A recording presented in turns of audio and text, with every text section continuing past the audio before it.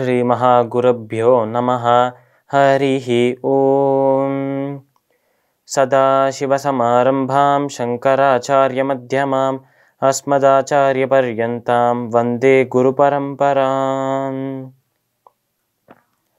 GeM டிவியின் அன்பர்களுக்கு எனது வணக்கங்கள் இன்றைய நாள் அனைவருக்கும் இனிய நாளாக அமைய எல்லாம் வல்ல இறைவனை வேண்டி இன்றைய மதமும் நம்மதுமே நிகழ்ச்சிக்கு செல்வோம் இன்னைக்கு நம்ம மதுராஷ்டகத்திலேருந்து ஒரு ஸ்லோகத்தை விளக்கத்துடன் பார்த்துட்டு நேற்றைய தினத்தின் நீதி கதையின் தொடர்ச்சியை காண்போம். கோபா மதுரா காவோ மதுரா எஷ்டிம் மதுரா சிஷ்டிம் மதுரா தலிதம் மதுரம் ஃபலிதம் மதுரம் மதுராதிபதேர் அகிலம் மதுரம். இந்த ஸ்லோகத்திற்குண்டான விளக்கம் கோபா மதுரா காவோ மதுரா போன ஸ்லோகத்தில் நம்ம பார்த்தோம் கோபி ஸ்திரீகளை பற்றி அதாவது மாடு மேய்க்கும் அந்த பெண்களை பற்றி பார்த்தோம். இந்த ஸ்லோகத்தில் மாடு மேய்க்கும் ஆண்களை பற்றி பார்க்க போகிறோம் கோபா மதுரா இந்த மாடு மேய்க்கும் இந்த சிறுவர்கள் நம்ம கிருஷ்ணருக்கு ஃப்ரெண்ட்ஸாக நண்பர்களாக இந்த சிறுவர்கள் நம்ம கிருஷ்ணருக்கோட அப்பா தந்தையாக இருக்கும் நந்த மகாராஜரின் அந்த தோழர்கள் இவா எல்லாருமே வந்து ரொம்ப அழகாக இருக்கா பார்க்குறதுக்கே அவ்வளோ ஒரு அழகான சொரூபத்தோட இருக்கா என்று சொல்கிறா இந்த ஸ்லோகத்தில். கோபா மதுரா காவோ மதுரா. இப்படி மாடு மேய்ப்பவர்களும் அழகாக இருக்கா? இவா மேய்க்கிற அந்த மாடு கூட அவ்வளவு அழகாக இருக்கு என்று சொல்கிறோம் இந்த ஸ்லோகத்தில். கோபா மதுரா காவோ மதுரா எஷ்டிம் மதுரா சிஷ்டிம் மதுரா. அதாவது நம்ம கிருஷ்ணர் அந்த மாடுகளை மேய்ப்பதற்காக கையில் பிரம்பு என்ற ஒரு குச்சியை ஒரு ஸ்டிக்கை வச்சுருப்பாராம். இந்த ஒரு குச்சியை வச்சுனா அந்த மாட்டு மாடுகளை மேய்க்க முடியுமா? அதனால் கையில் வச்சுருக்க அந்த பிரம்பு அந்த ஒரு குச்சி கூட பார்க்கறதுக்கு அவ்வளோ அழகாக இருக்குது எஷ்டிம் மதுரா சிருஷ்டி மதுரா. இப்படி ஒரு சாதாரண மாடுமைப்பவனாக பிறந்தவர் நம்மளோட கிருஷ்ணர். ஆனாலும் இவர் வந்து அனைத்து உலகங்களையும் இந்த பிரபஞ்சத்தையே உருவாக்கின கடவுளாக இறைவனாக இருக்கிறார். அப்பேற்பட்ட கிருஷ்ணர் இந்த உலகத்தெல்லாம் உருவாக்கும் போது நம்ம கிருஷ்ணரால் உருவாக்கப்பட்ட அவரோட கிரியேஷனாக இருக்கிற இந்த ஒரு பிரபஞ்சம் இதுவும் பார்க்கறதுக்கு ரொம்ப அழகாக இருக்குது என்று சொல்கிறோம் எஷ்டி மதுரா சிருஷ்டி மதுரா தலிதம் மதுரம் ஃபலிதம் மதுரம். தலிதம் மதுரம். நம்ம கிருஷ்ணர் அழிக்கிறாரோ அந்த ஒரு அழிக்கிற அந்த ஒரு செயல் அரக்கர்களை அந்த தீய இது தீய சக்திகளை அழிக்கிற அந்த ஒரு செயல் அது கூட பார்க்க ரொம்ப அழகாக இருக்குது ரொம்ப வீரமாக இருக்குது தலிதம் மதுரம் ஃபலிதம் மதுரம். அதாவது அழிக்கிற அந்த செயலும் அழகாக இருக்குன்னா உருவாக்குற செயலும் அழகாக தான் இருக்குது அனைத்தையும் சிருஷ்டி பண்ணுற அந்த ஒரு செயல் இந்த உலகத்தை உருவாக்கி அதில் வந்து நம்மளை போன்ற மனிதர்கள் மிருகங்கள் பட்சிகள் இதெல்லாத்தையும் உருவாக்கி அழகான ஒரு உலகத்தை தந்திருக்கார்.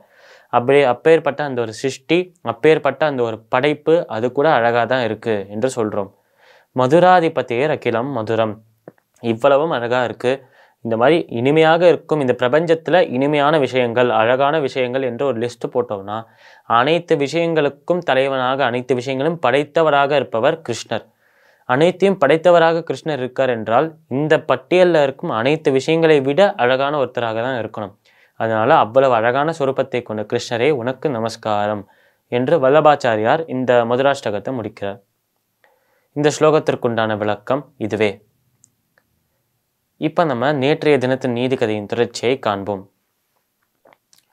நம்மளோட இந்த சிலந்தி இங்கேயும் அங்கேயும் ஓடிக்கொண்டிருக்கிறத பார்த்து நம்ம வியாசர் நிறுத்தினார். அவர் என்ன கேட்டார் என்று பார்த்தோம். நம்ம சிலந்தி அதுக்கு கோபப்பட்டது என்று பார்த்தோம்.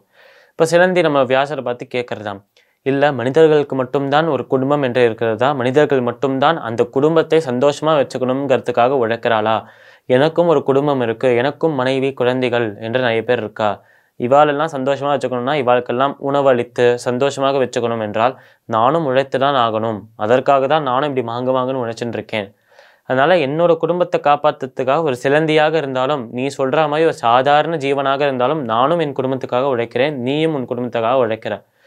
அதனால் உனக்கும் எனக்கும் நடுவில் இருக்கிற அந்த வித்தியாசம் அவ்வளோ பெருசு ஒன்றும் இல்லை. அதனால் இந்த ஒரு ரத்தம் வரும்போது அர்ஜுனன் ரத்தம் வரும்போது அந்த ரத்தத்தில் சிக்கி என்னோட உயிர் போய்விட்டிருந்தால் என் குடும்பத்தை நீ பார்த்துப்பியா? என்று அந்த சிலந்தி வியாசரை பற்றி கேட்கறது நிச்சயமாக நீ பார்த்துக்க மாட்ட. நான் தான் என் குடும்பத்தை பார்த்துக்கணும்.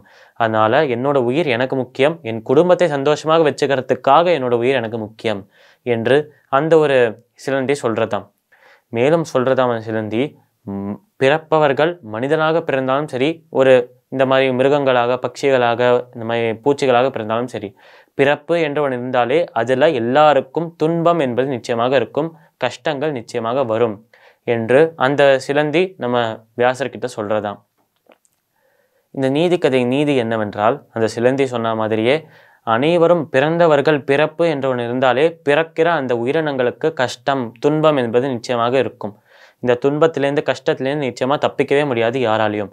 இந்த ஒரு உண்மையை உணர்ந்து யாருடன் வாழ்கிறானோ அவன் வாழ்க்கை சந்தோஷமாக இருக்கும். ஏனென்றால் எந்த கஷ்டம் வந்தாலும் இது எல்லாருக்கும் வரதான் போகிறது இது சாதாரணமான ஒரு விஷயம் என்று தெரிந்து கொண்ட ஒருத்தன் எவ்வளவு பெரிய கஷ்டம் எவ்வளவு பெரிய ஒரு துன்பம் வந்தாலும் அதிலேயும் சந்தோஷமாக சிரித்து கொண்டே தான் இருப்பான். அப்பேற்பட்ட ஒருவனாக இருக்க தான் நம்ம ஆசைப்படணும். அனைத்து கஷ்டங்களையும் துன்பங்களையும் சாதாரணமாக எடுத்துக்கணும் என்று இந்த கதை நம்மளுக்கு சொல்கிறது இந்த நீதி கதையின் நீதி இதுதான். மீண்டும் நாளை சந்திப்போம். நன்றி வணக்கம்.